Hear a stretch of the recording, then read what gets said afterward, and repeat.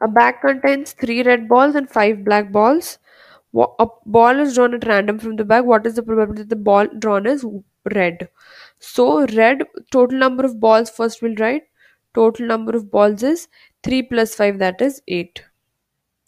To find a red ball, how many red balls are there? There are 3 red balls.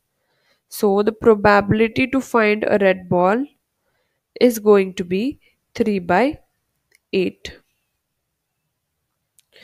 Now how many black balls are there? There are 5 black balls.